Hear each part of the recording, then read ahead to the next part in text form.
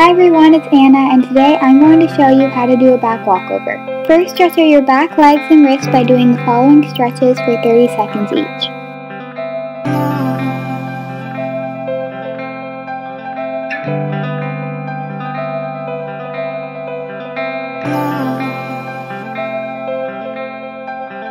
Then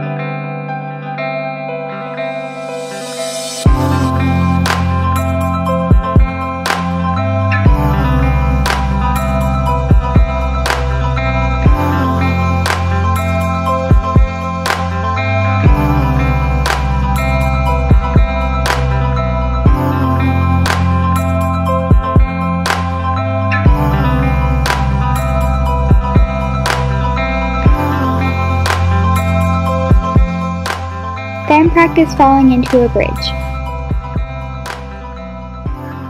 If you cannot fall into a bridge, then practice doing it onto a higher object and gradually make your way closer to the ground.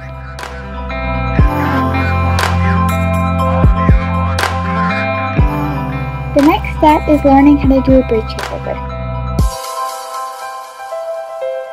To do a bridge kickover, go into a bridge and bend one leg. Then push off the bent leg to kick your other leg over. If you are having trouble getting your legs all the way over, then start by doing it on a higher object and gradually make your way to the ground.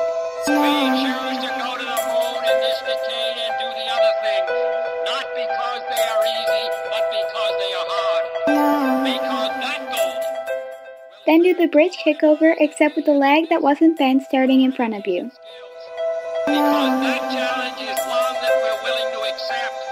Then do the same thing except try to keep your front leg from touching the ground until you land the walkover.